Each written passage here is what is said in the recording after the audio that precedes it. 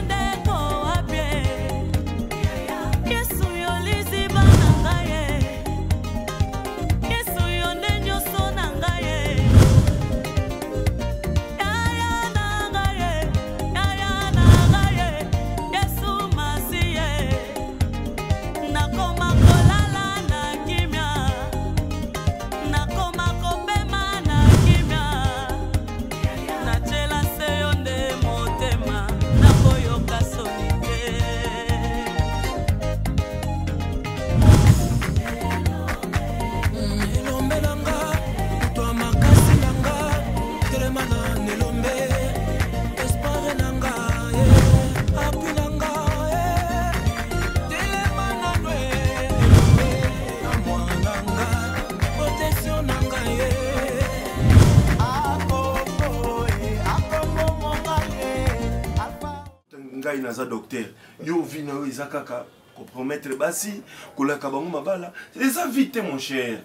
ozomema vi na yo mokuse zwa fi au sérieux non soki nazo conseille yo parce que nalingi yo nazo porte yo na terre eh, eh, nga nakomona ndire kozala na yo okomi kodenigre nga malembi kokritike nga mon cher na matadi natiki de entreprise ya mabanga nga nazoyebisa yo Eh, ya mabanga ya badiama te po omoni bino boza bata makambo minene ya mabanga pene ezonikama mabanga parceke mashine ya mabanga docteur bapareil wana moto aya nango batike moko bautaka hongrie bakiti nango na matadi donc soki ezonika libanga ezobimisa poudre moko na kati ya libanga bakosalela yango Gino. En tout cas, sur machine, on va il faut me dire que aux quand même tout un classe, l'obésa carrière. hein tu sais oyebi ke nadine bute abetelaki nga lisolo na oyo okosaki osikrokaki ye eh, elle m'appelait docteur oui te na escroka ye te ezala nde une promesse mal tenue compte de temps omoni nayebisi eke ah maman nazwa quelque chose epa na yo e, ndenge babiloko ekotaka ntango ekobima nazongiseli yo alors du point de vue maintenant pourcentage oyo nayokanaki naya koconcrétise nde esalaka ke mwa fai te ose connais bien ah, naza mopaya pa na yo te changer euh, ça me fait honte changer je te dis changer par rapport na baprojet na oza omoni ngai ngai nazoyebisa yo oyebi biso toza bato ebele bato tanga bango baklasse moko si par exemple nakoloba lokola luzala ngunza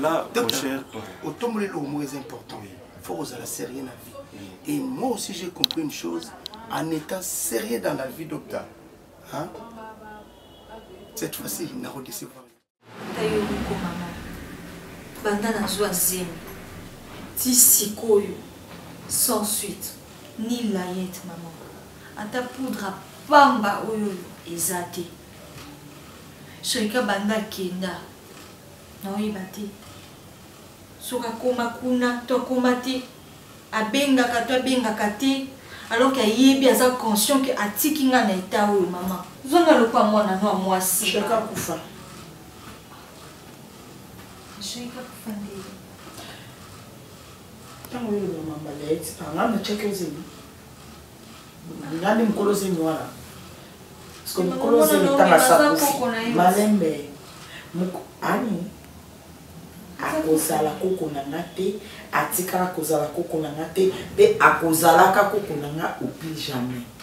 nga nayebisaka yo ti sherka abengaa te so abengi ye abengaka mama na ye mama comment tu vas je vais bien ok bisous mama juste je voulais te saluer pa ah, akati nayebisaka yo sherika akokutana na oyo ya ye epasi akutana na mwasi na ye na université mpasi aotanga mpasi aosala master basola mpe na mwasi na ye baloba na oyebisa yango cherka alobaka ngai ayebisa yo fait ta vie non, non, je sais que c'est pas vrai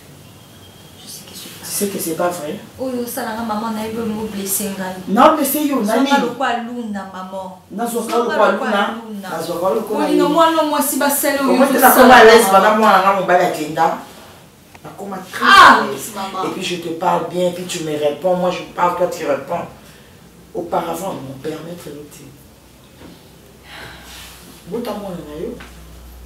meme liputa na robe na yo kokatakata yango mpe créer bacouche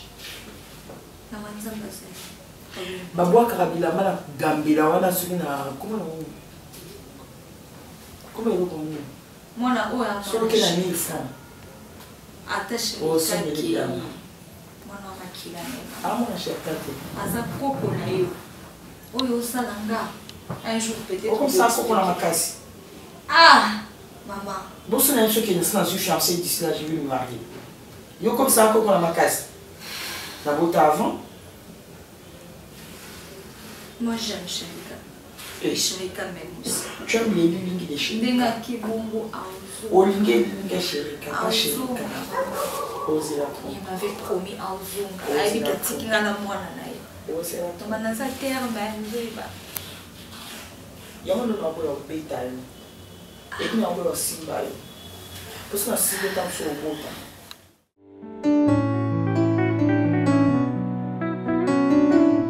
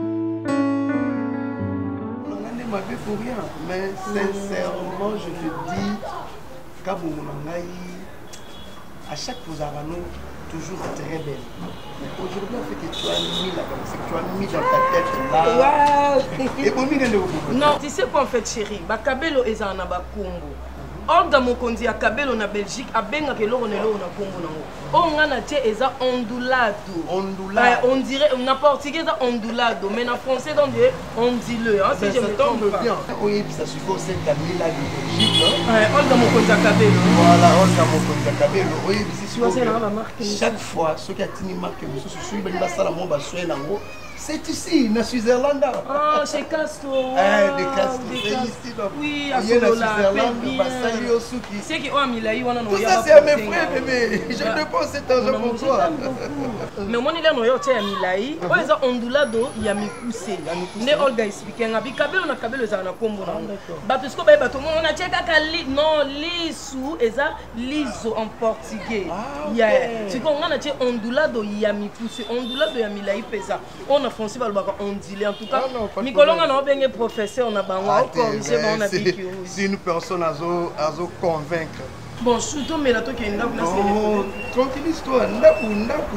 susi nanga eza nini omoni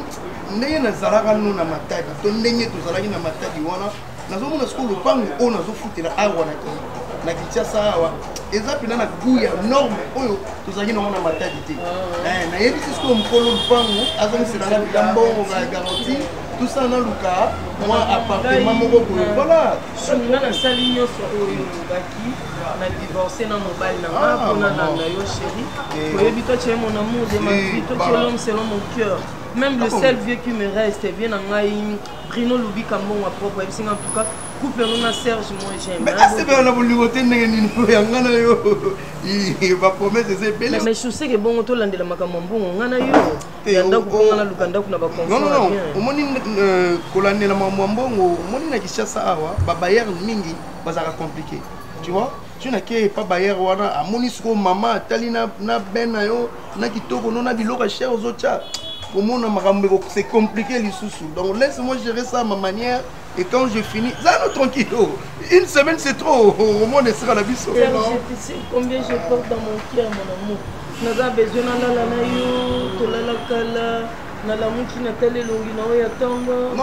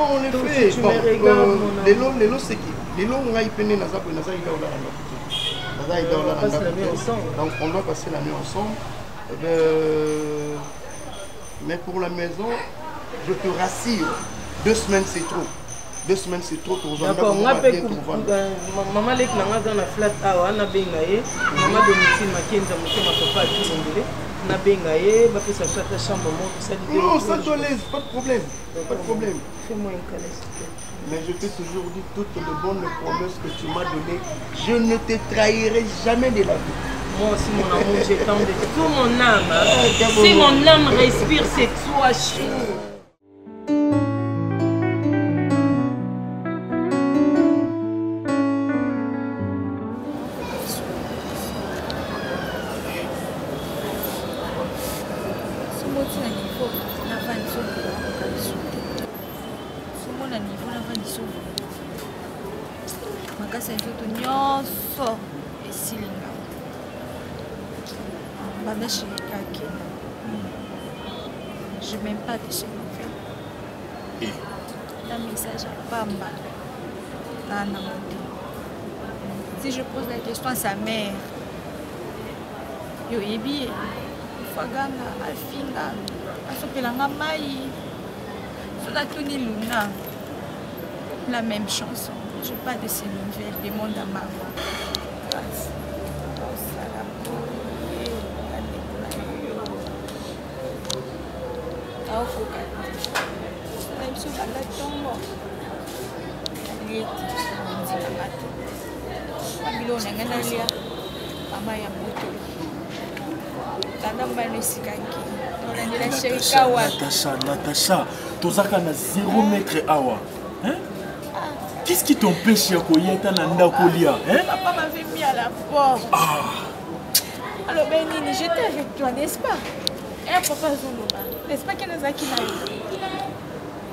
siko akomona nga lisusu na longwe awa comment tu peux accepter tout ça nazwi biloko na nga na ye kuna je t'avais bien prévenu nayebisaki yo ah. c'était encore le début ah. que quand ta relation où tu ne voulais pas m'écouter et maintenant voilà bah, bah retomber alors hein et maintenant nazemi boye depuis le matin au lie te ma grande hein est ce que nga na nga na ye bakende nga na suka boye C'était comme un esprit qui parlait en moi. Tu... Tu étais aveuglé ou quoi Ça peut aussi être ça parce que maman bango alingaka yo te. Peut-être eza eza une bonne façon pour na bango bakabolona mwana bango mais non tala yo na na ba état oyo ma grande hein Bon, je dois aller te trouver quelque chose. Hein. Ok Je vais te trouver quelque chose. Toutefois, je dois parler à papa. parce que naomona na yo moko nzela okoka osala violence te nayebi tozoka soni et pourtant obimaka awa nayokaka parce que ngai nazalaka na ndako te soit disant bakoma kotonga yo awa obima okoma mona mosala et tout yo moso batuni yo obombaka et maintenant tu prends les culot tu es culotté ya koyebisa nga bamakambo oyo en face pendant tout ce temps tu cachais pourquoi hein? na quartier a bazoya opesa rapport ke yo okoma mwana mosala olobaka te et maintenant là ozwi courage parce que ovandi journée mobimba olie te c'est ça non? Ne répète plus jamais ça. répète plus jamais ça tu sais que moi j'ai besoin de toi je suis ton unique petit frère ok tu n'as que moi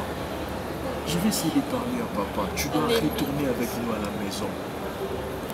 tu dois retourner avec nous à la maison. Dans ces cas, attends-moi, je vais te trouver quelque chose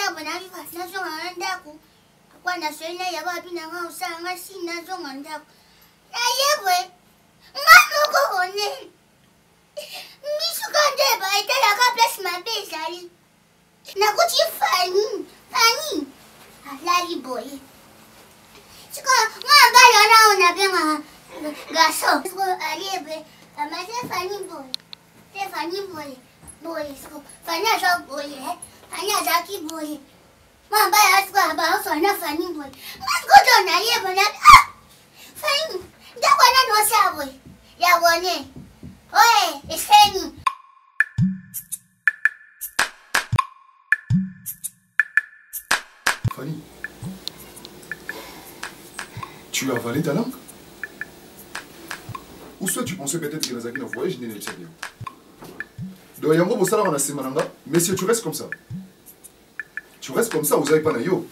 olingi olatela mba pourquoi na raison nini boexplike ngai ce que moi je viens de voir c'est quoi tu es chez moi yango otransforme ndako na ngai nini na boîte de nuit na hôtel je ne suis pas un aveugle fani j'ai tout vu ngai mon dieu mon roi laisse-moi toi hey, hey. du jeune homme Fanny, tu vois ce que tu as créé omoni oyo osali oh moi je pensais que nabalaki mwasi malamu oke nabali ndumba bo oyo osali eza kibo ndumba osali kibo ndumba na ndako ya libala et tu me demandes de te pardonner e olingi opesa nga explication mpo olingi oloba na nga nini bondumba okuti nga na bilamba vraiment bondumba nga naza aida raison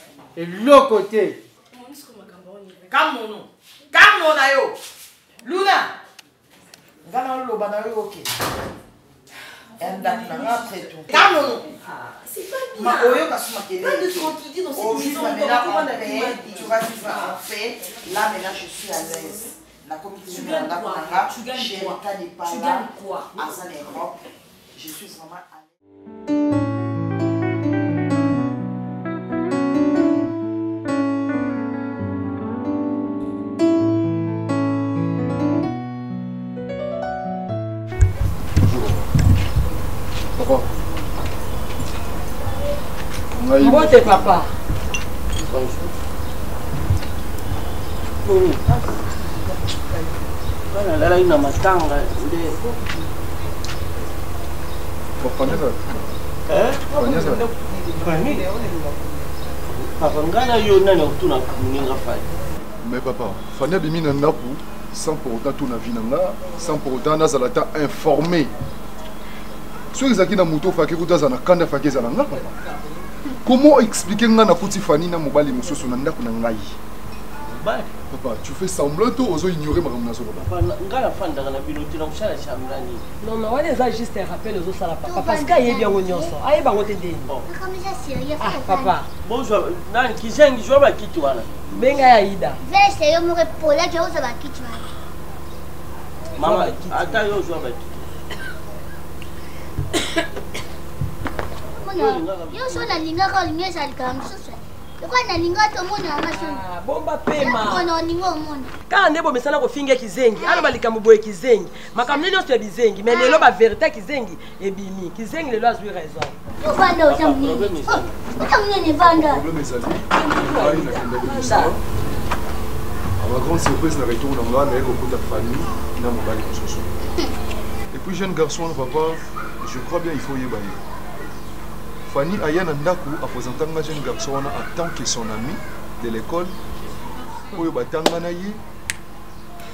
jeune wana aya epa na nga na edaka ye financièrement papa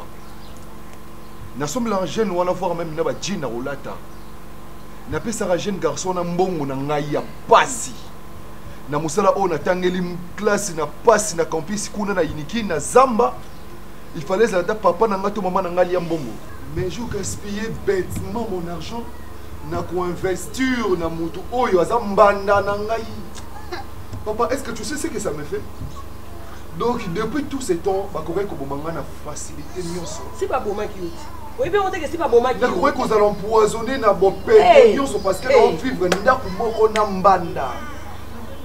yango biaba bango batikali bapona bikolo ya kobala bikolo mosusu eza bikolo ya kobala te azala ata na soni mais non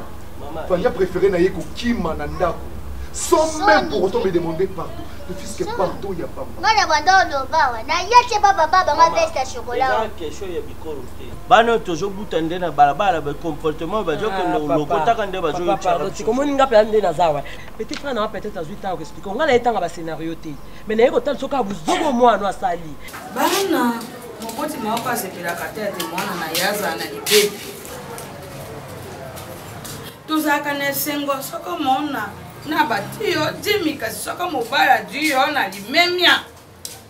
amemi yo mpenza ndenge bazali na ebongo baboti bana na bango wana eza kitoko kati booto mama sesa bota bana na ye avandi kitoko aza malamu eza mpo na mpoto te na wana kisasa mpe mibali bazo anoyeka bato mpe yo okei okay. ozalaki awa sendika sendika mobali yango bakei kotika ye mama alobi te mama du yo nde lokwa bokale na ye lokwa yo na ye bozalaka losanganya ya mobali likambo yango nini mpe mobali selika mpoto o oh, wo adu yo mpasi nde yo o oh, wo mama mpe alobi awa ngai te ngai na awa tawa tawa awa te na mobali mpe abenga te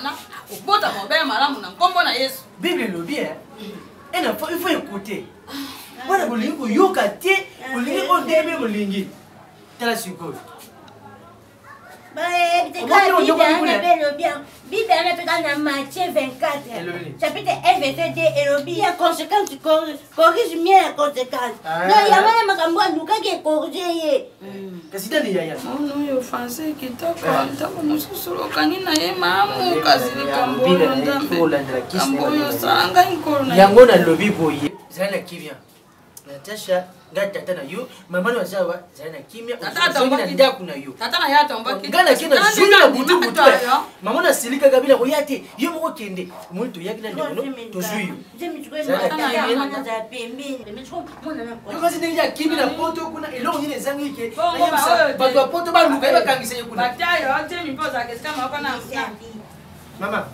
kino se kona. Ni, simba ye. Simba ye mwa zoba simba ye kote na sawa. Wani za kana ngati. Wani za kana ngati na tasa. Wani za kana ngati. Opeso mai. Eh, wana kana ngai. Toya to bala Fanny. Totikala na nyongo te. Et puis loko Fanny asali, fala sala kindumba ngata libanda. Mais na kati ya ndako ya libala. Hmm. Oyebi leo ne ya luki na libota na biso. Eh. Oyebi loko ya créer.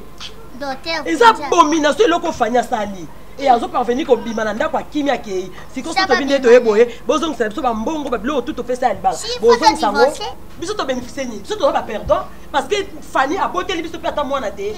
azalaki wana kaka piota mpo afaire souffrir leki na nga nga defa nango ozwa baproblème na petit frère na nga ntango to nga nazo souffrir naozanga mbongo mais petit frère na nga mbongo azosala fani azolia azolata azolala alaise elo nini alukaki eza ide na nga te eza bondumba oyo mwana no asali raison pour laquelle toza awa papa soki olingi nia ndeke te kolona nzete te na lopango oyoki papa oyini boye kosakana bafami ya bato boye papa fali eza wapi naza na besoin namona ye azomona ndako parceke ngai nabengani fani te natikali koloba na fani eloko ya mabe te naza juste na besoin ya mwasi na ngai soki azali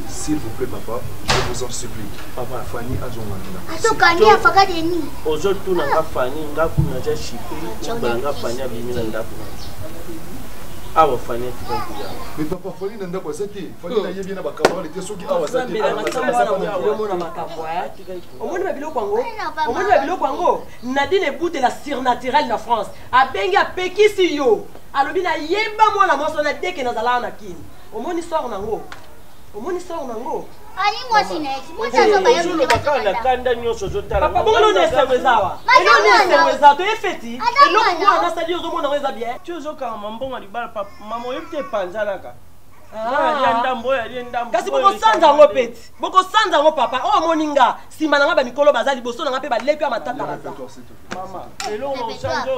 nalia deja na ne na kasi oyo bekosakana bafamille ya bato bondumba salite boye eloko ni ya lu papa merci na yo eh, zwa bango neti boza na kanda bokende nanu komsa ngai nabima nakende koluka ata fali amikimeli ye moko tiaza na besoin namona ye nasolola na ye aza mwasi na nga papa peu importe la situation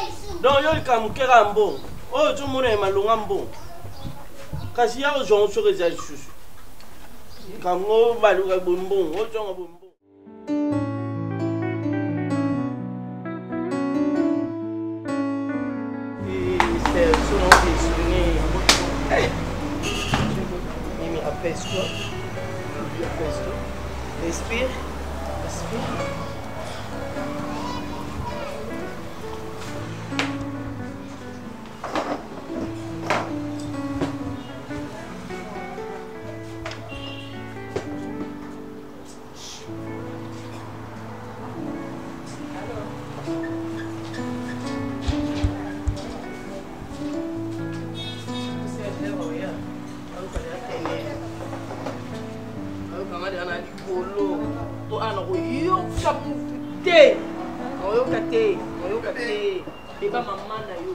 Mimi bebe olingi obengana ya mama. Serge olingi olie esprit na nga. Te sola na nga Serge.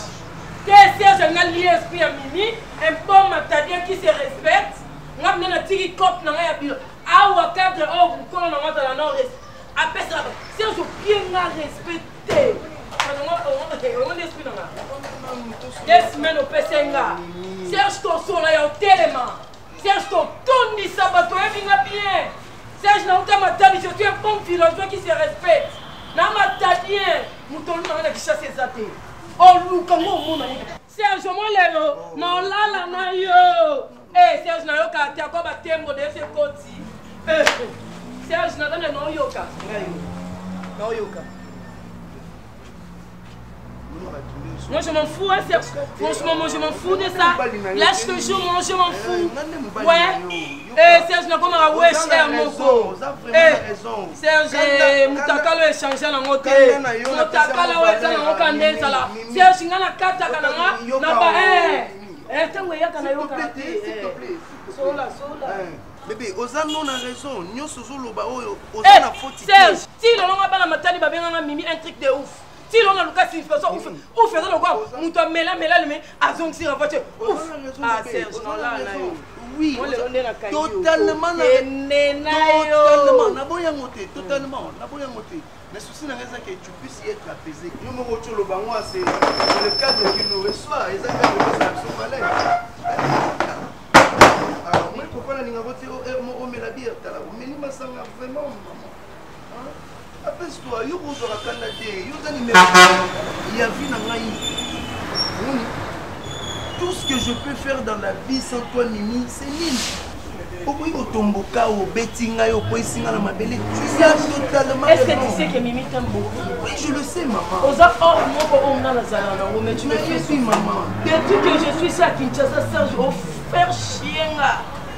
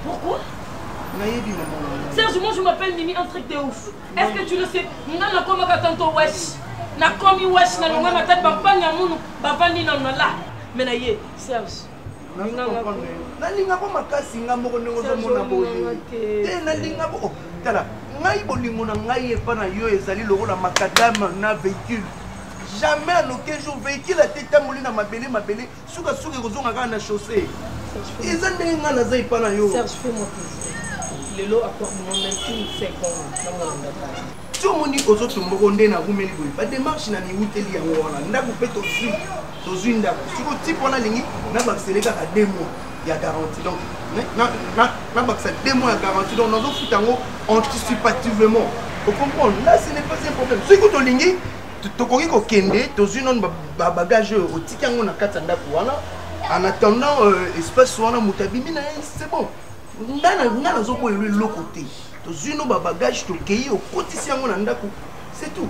okomona ke ngai nazo koso te nazo pimelo pe ndako te tetete nga nalingi tokende lelo na yo tokende ensemble okotisa biloko na ndako voilà tokende kasi tokende okotisa biloko na ndako omoni sikoyo kote nazoyebi soki okokotisa biloko mabe mpe kuna bayibi yango lisusu chance wana ekozongaka epa na ngai tozela moto aza na kati wana abima na ye comme ça totie biloko na biso à l'aise na place ke totya yango pendant ke moto aza nano alibere tale aya koyiba eloko ale ozongela nga susu ozaka matata mimi eh, matata nonga mona komala nga lokola kizengi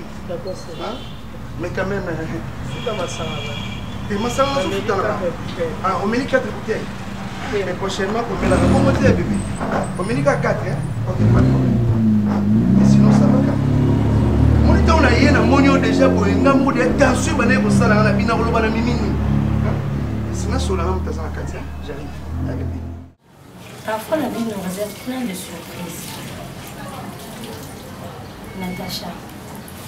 oza nazolela, okomi na souci. Chérie, ka obenga yo te, otuna état de santé te, mwana te, elomoni te. Lobi na biso nzambe kamuta ye bango. e na basi mosuku basundana bango na bana ba 5 na zemi mobali pake bavivra ndeni yo kutu omo oza mpa ya bino lopango eza so siko boza na lopango te na zemi seko olinga okufa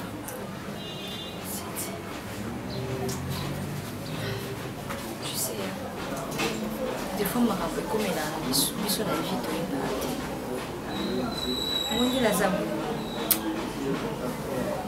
ebi kolela ya niveau na leleli na osanti lokwa makinda nyonso na mai na nzokisi sikoyo eza mabe ifopa ozala stresse mpo na mwana natacha c'est tellement facile ya oloba omoni nga na oviversité oyebango te sherika aza mobali oyo liboso ya vi na nga natacha alingaki makasi ti nakomi na niveau oyo oyo c'est par amour oyo nga namoni na ndako ya basherika tu ne sais pas c'est que sa maman la maman oyo abota mpenza sherika anyokoli nga mwasi oyo namemi mwana koko na ye mwana sherika sikoyo naza kovi nanga esuki ofete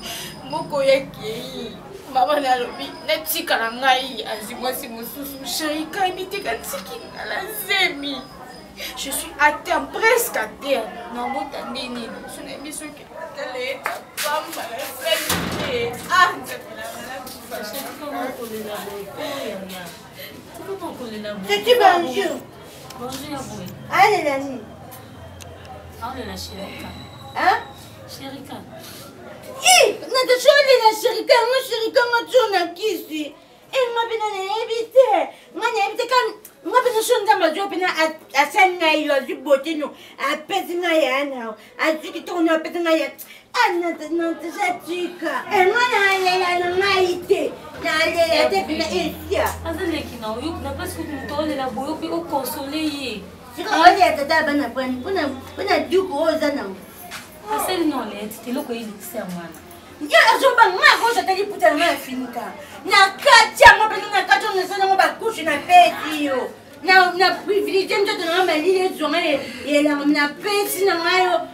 liputa ngai na zipaka akatnaya lito verité Natacha, ne pleure pas s'il te plaît.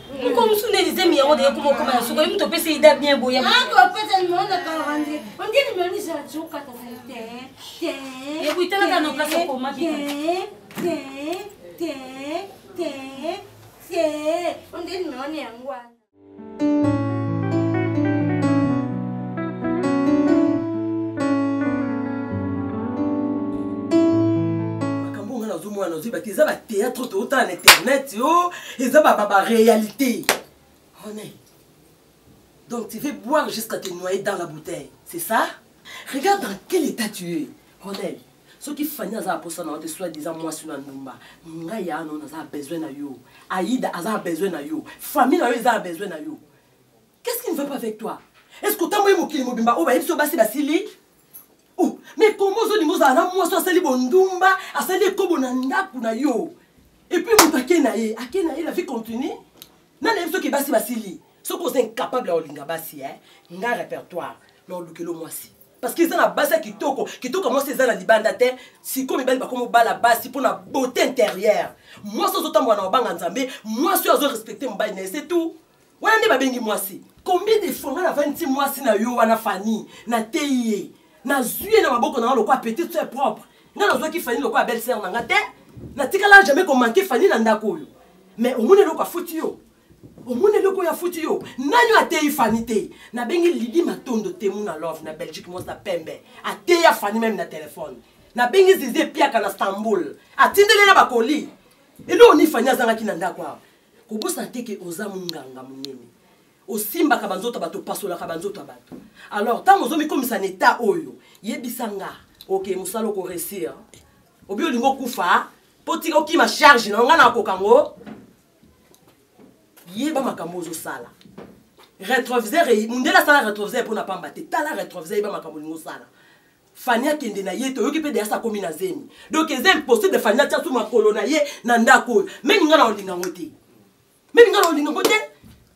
yo na mwa kizengi azwi zemi te pourkui bizengi bazwa zemi eza na mibali oyo balingaka bango mpe sikoyo fado kifani aza extra ye moto asukisi kitoko basi nyonso na mokili lokola fani akei yo sikoyo olingo miboma nzoto miboma miboma oyo ozosala ozomona yango normal miboma babanda kobengaka ke bakuti yo olali motu na kati makolo libanda ndako elali polele okomi na bakuti yo liboso omela babiloko opesanga wana pourkoi olingi osuye nzoto na yo olingi nini pourkoi olingi omiboma olingi okei wapi otikanga na nani eh? aida nanga nakokaki susu yo moto okoka aida ti nga so naa na problème moto asunganga nani yo te aida obanda obenga kizengi na mwasi na ozobenge kizengi ayida azoloba bamakambo mosusu yo ozoboya yango obosani oya moko mosusu na ndako nango bandi kotomboka ke ngai na ayida tosali likopa mpo toboma mwasi no fani napesi ayida raison epuis oza zoba mobali oza bolole mpenza nde oza wana eskize ngai naloba na yango parce que mobali wana ozwa tie na kati ya ndako na yo mbongo no apasa moto ozopesa ye koma mwasi na ondima mwasi azala na camarade ya mobali ezalaka esalamela wapi o fani asali loba fani abotama na bandeko ya mibali te loba biso tobala fani te tokende kozwa ye ka ye kota libala yaka tovanda fani akofuta nzambe aza juste Bible elobi le salaire du péché c'est la mort. Fania kofuta masumu. Na paso apesi yo. Na père to biso tosali pona Fania pe aboteli biso te. Akizwa zemi soit disant pa muto okuta apeseli ata meme verre à l'autre côté. Fania ofuta. Mokili eza mokie. Lokola ya ngambe ya mokili na motu ekomele kilo. Mais yo ndongo oza boye longola souci zala à l'aise. Nga na koponelo mwasi. Na tanga kala pe ba mama biso baponelaka pe ba yaya basi. ya te ngai nakofanda kimia te nayoka kaka ronel kuna boye ronel kuna boye naza na posa na yo na bande lisusu naza na posa na yo namonaka yo aida mpe aza na posa na yo tika ye kende moto asali bonduma nakende na ye oyo asali eza plus qu'abomination